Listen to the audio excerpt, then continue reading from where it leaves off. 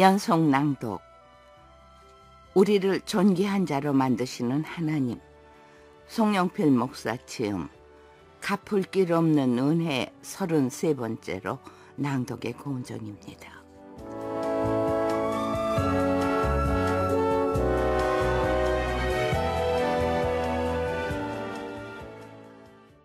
마태복음 25장에 보면 주님이 심판하시는 장면이 나온다.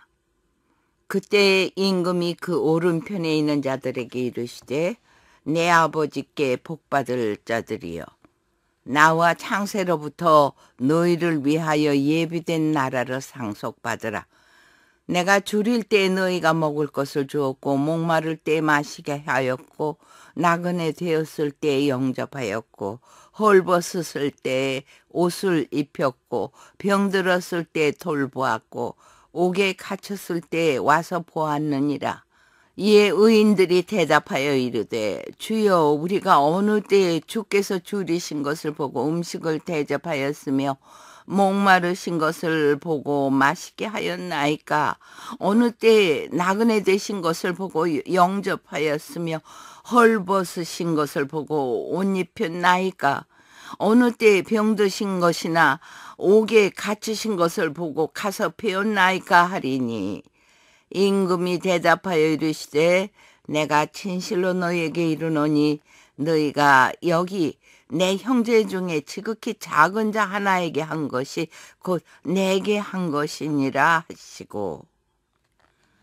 그간 랜싱에서 만나 지금까지 수십 년 동안의 장 박사의 삶을 생각해 보니 위의 말씀이 떠올랐다. 최근 그 아들이 미국에서 목사가 됐다. 나는 그 아들의 목사 안수식 때 설교를 맡아 미국에 가면서 목사 가운을 준비해 갔다.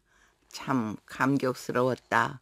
아무리 어려워도 하나님을 평생 신실하게 섬긴다는 것이 얼마나 귀하고 기쁜 일인가를 새삼 느끼는 날이었다.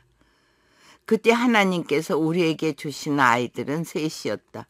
큰아들은 사우스캐롤라이나에서 낳았고 큰딸 수자는 그랜드 레피츠에서 낳았고 막내 트리샤는 랜싱에서 낳았다. 아내는 힘겨운 상황 속에서도 아이들을 잘 키우고 사모로서도 열심히 내조를 잘해줬다. 그런 아내 덕분에 난 목회에 전념할 수가 있었다. 랜싱에서의 목회는 힘들었지만 즐거운 나날이었다.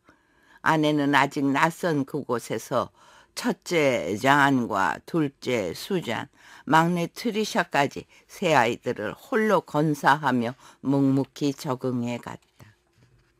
그 무렵 나는 성경 공부 모임 활성화에 총력을 기울였고 그 모임을 통해 많은 열매가 맺혔다.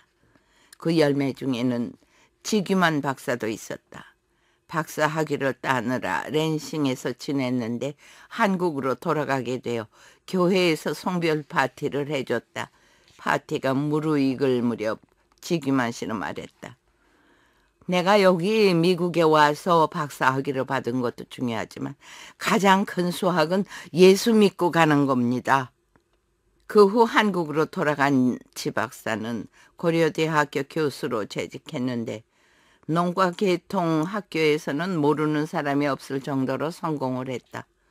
또 열심히 봉사하며 철학 박사 학위를 마친 정덕만 씨는 사모님이 시인이셨는데 정 박사가 귀국할 때 트레일러에 이삿짐을 싣고 공항에 같이 가던 추억이 생각난다.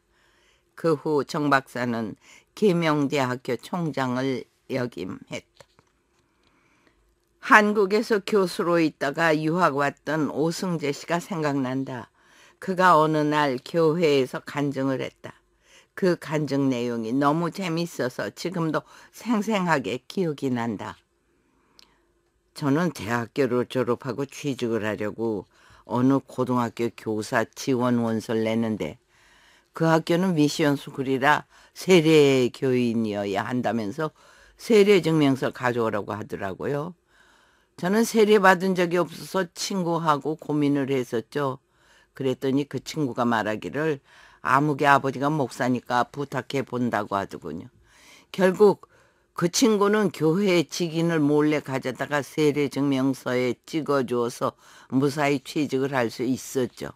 그런데 학교에서 매일매일 체포를 했는데 그때마다 은혜 받은 증거를 물어보는데 괴로워서 죽을 뻔했죠. 그래서 결국 그 괴로움 때문에 예수님 믿게 됐더라고요. 한 번은 성탄절에 성도들과 함께 새벽송을 하러 동네에 있는 큰 아파트 단지로 갔었다. 밤 12시가 넘어서 다들 잘 시간이라 교인 집 앞에서 조용히 찬송을 불렀다.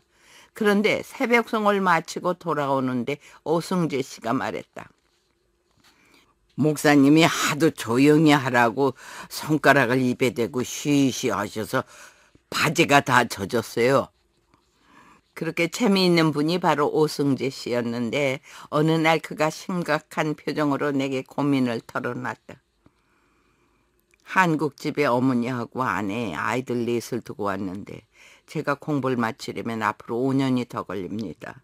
공부하는 동안 식구들이 미국에 와서 같이 있었으면 좋겠는데 식구들을 초청하려면 재정 보증인이 있어야 하는데 제 주변에는 그럴 만한 재력을 가진 사람이 없어 안타깝습니다. 어떻게 해야 할까요? 그 재밌는 사람이 기가 팍 죽어 있었다. 나는 그 말을 듣고 그를 도울 수 있는 방법을 다 하려고 하나님께 기도했는데 김장한 목사님 처남이 떠올랐다. 나는 오승재 씨를 차에 태우고 직접 7시간 넘게 운전을 해서 김장한 목사님의 처남인 허부 씨를 만나 사정을 얘기하면서 재정 보증을 조심스럽게 부탁했다. 허부 씨는 바로 재정 보증을 해줬고 우리는 다시 7시간을 운전해 돌아왔었다. 그 후 나는 한국으로 돌아왔기 때문에 그날 보증을 받아준 일이 도움이 됐는지는 모르겠지만 할 수 있는 건 다 해줬다.